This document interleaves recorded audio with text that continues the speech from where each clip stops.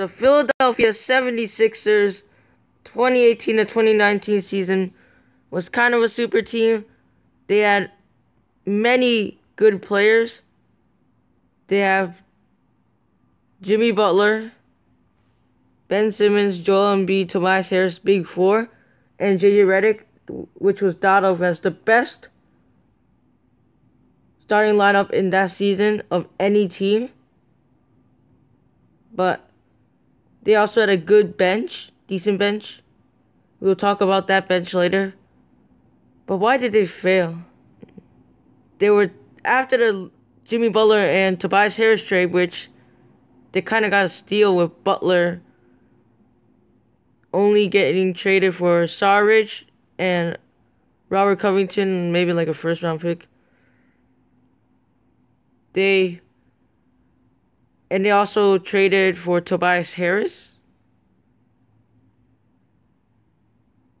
They were thought as the best player team in the East, maybe Milwaukee Bucks 2018-19, but they were thought as the best team in the East. reason why they did not do that well, not on the stat sheets, but they did not have as much time to play together. As you see, Mike Scott only played 27 games. They had Tobias Harris and Jimmy Butler not played that many games together. They didn't mesh too well. They didn't have much chemistry. Another reason why many teams lose, like the Lakers with Super Team and also the Clippers 2019 to 2020 season. Another reason is that you see in the stats many people were doing very well. Ben Simmons was averaging six, 17 points along with 7 assists and 9 rebounds. Tobias Harris was averaging 18 and 8 rebounds, which was really good because Joel Embiid averaged a 14 and 28 MVP like stats.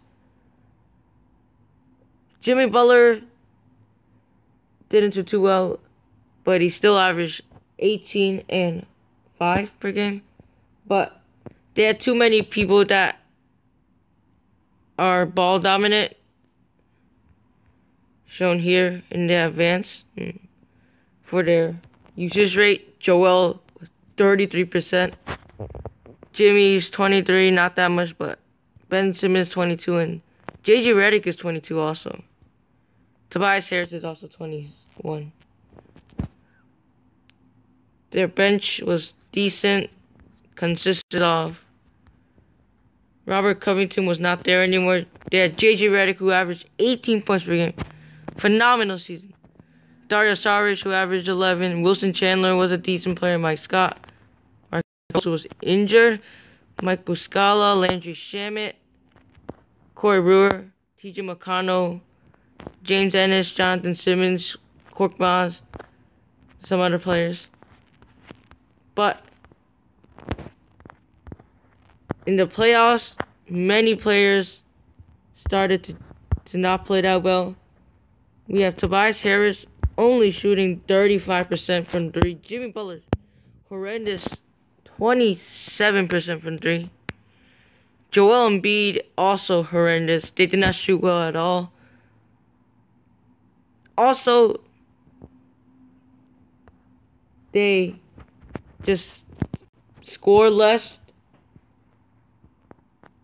Their stats, many people's stats dropped. Tobias Harris dropped. Jimmy Butler did better, but like he didn't shoot as well. Joel Embiid dropped from 28 to 20 only, and JJ Redick is only averaging 13 points per game. And their bench wasn't really that good either. Yeah, so many people didn't have as much usage rate because they didn't do well. JJ Redick did not do well that much, having a negative 2.1 box plus minus. The rest did decent in box plus minus, but they had a drop on their stats and efficiency. Probably because they were not that much chemistry. Of the inbounder here, if you're Philly. It's off to Leonard, defended by Simmons. Is this the dagger?